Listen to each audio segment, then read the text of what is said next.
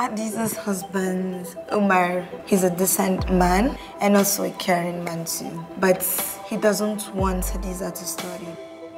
Your husband has hired a car to take everybody back home, including you. Ki kwashi kayanki. No, Baba.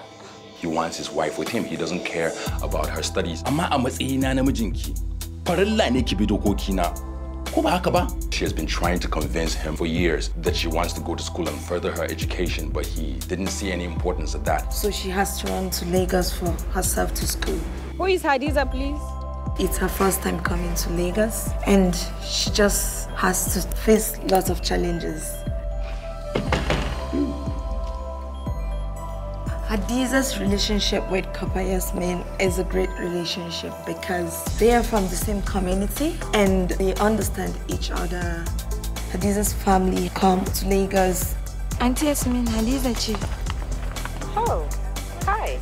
I need you to help me with something. Bari kika ni da ke ko kin ki ko kin so dole sai mun koma Kano tare. Salamu alaikum. It is important the families of people come together to understand each other. Me ma ni wannan. Ah, kwantar da hankalinku, kwantar da hankalinka malaka. To malam, yanzu abin da za mu yi shine mu tashi, mu ba su wuri, mata da miji su tattauna a tsakanin su su samu mafita. Taso kawai, kaka damu, tashi mu fita. Yarinya to yanzu nan ina mafita ina cin gaba me kike son mu yanzu They talked about it and they understand each other at the end. Ina tunani zan zauna a nan gurin har in gama makaranta na. Idan na gama makaranta na zan koma Kano. Daga nan sai mu daura daga inda muka tsaya. Just had a little conversation.